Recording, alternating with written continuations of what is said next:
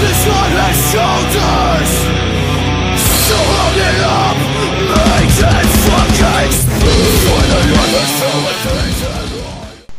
What up, guys? Is Brian. How you doing? Uh, just thought I'd let you know some stuff that's been going on. We got a new bassist. His name's Frankie. He's awesome.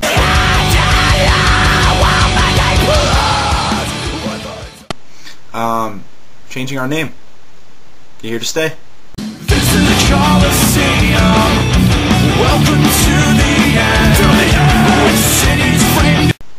I don't know if you've heard. Anyway, on uh, May 18th, we're playing with Ligeia.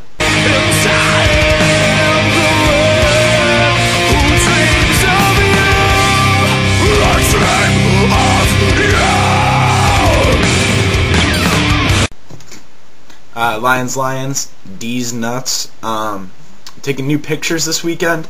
And